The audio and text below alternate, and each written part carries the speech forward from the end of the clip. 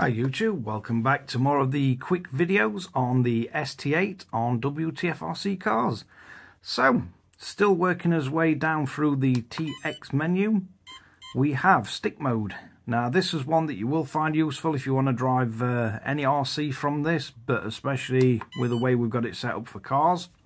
So you've got these different modes, and I've already done a video showing how to make both these return to center I'm pretty sure you could lock some of the directions out altogether as well if you just put a small uh, screw or block in them. So you could literally have it so one's your throttle and one's only your steering, but there's quite enough tension on here not to be an issue. But back to the menu. So if we look, as we change this, it changes the assignments all around the uh, sticks. So M1 would effectively if you are wiring channel 1 to steering and 2 to throttle, bearing in mind you don't have to. You can have any of these channels as steering, throttle, or depends how you want to set the controller up. But if we look what M1 does, M1 would give you channel 1, so your steering would be on the right hand stick, and channel 2 down at bottom means the throttle would be on the left hand stick. Then we can switch it, and then you can have steering and throttle. If you go down to uh, M3, you're going to have steering and throttle on that one. And if you go down to M4, you're going to have steering on your left and throttle on your right.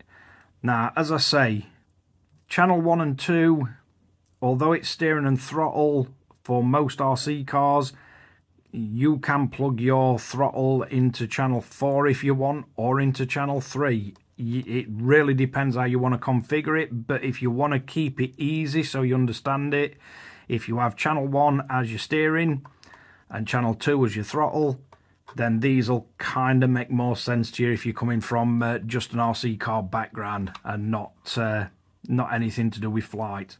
But basically that's what these stick modes do. They allow you to change the assignment of the channels between the actual sticks.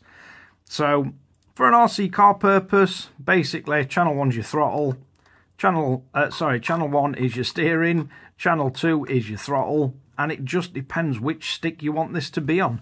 I mean, you could technically drive it one-handed if you wanted to. So, depending whether you're left and right-handed, this could be an option if you're going to use your other hand for videoing. So you've got a single-handed controller. So maybe something that uh, would be useful if you like making videos or content and you don't want to use a phone holder fastened to the actual transmitter itself.